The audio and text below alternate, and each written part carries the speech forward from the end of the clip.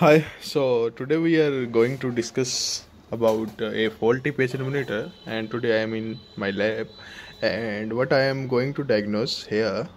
I got uh, two patient monitor from a hospital and for both hospitals uh, both monitors are 5 parameter and both are uh, hospital is using both monitor in their ICU so what is the fault actually? Like you can see here my patient monitor i switch on the monitor and after switching on you can see there is no display coming. Everything is working fine.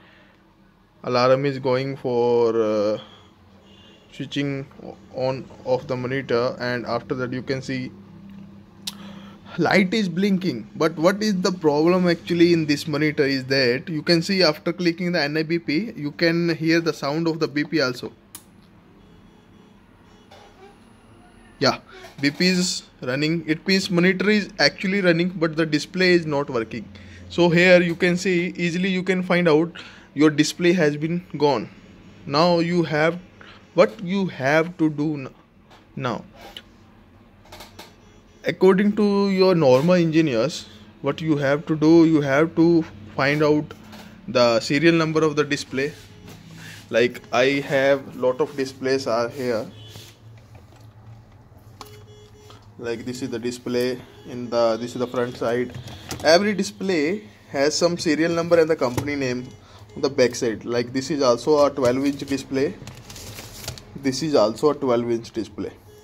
So in all displays you can find out here the company name you can see Towson TFT LCM that is the company name and uh, here you can see the model is TM112 SV so this is the model for this display and again in the another display you can see here the same model Torison and I have one more display here. And in this display you can find out here yeah. Yeah this is the another display you can see here. And after uh, taking some focus this is the manufacturing made in Taiwan and uh, here actually the logo has been removed by me. Here you, can find the logo. And this is the dis another display with another quality. So what you have to do you have to find out that uh, display made and model and search on your google. And you can find the similar display from the china or available in your country. And also you can find out the local distributor of displays led display tft displays. And this is basically a tft display and uh, not a LED display. So this is transistor based display. And uh, after that after finding the similar product only you have to find the similar model not any compatible. So you have to find out the same model for the display and after that you can replace the display. So here you can see easily you have uh, you find it out the display is faulty but here you are in my class and I am your trainer I can tell you some more important point regarding the display. Only without opening this monitor you can say the display is faulted but no in both monitors I found it the same fault.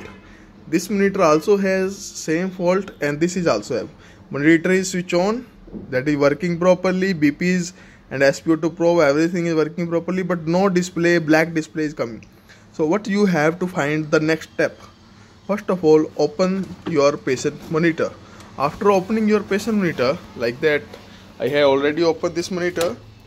And after opening this monitor you can find out this is the button chip. All the button signals on and off signals should be operated from uh, this chip. There is a display. You can find out the display with the attach metallic card and on the, in the behind of that metallic portion you can find uh, the motherboard and the main controller of operating system. And uh, here you can see the this is basically a power supply where power supply red and black wire is coming input. And you can see multiple outputs are going out from this board. And you can see here another card here which is below of this master card and this is basically is your display processing card plus parameter card. And here you can see the parameter card is in the back side of this motherboard. And after that you can see here are some uh, this is another card.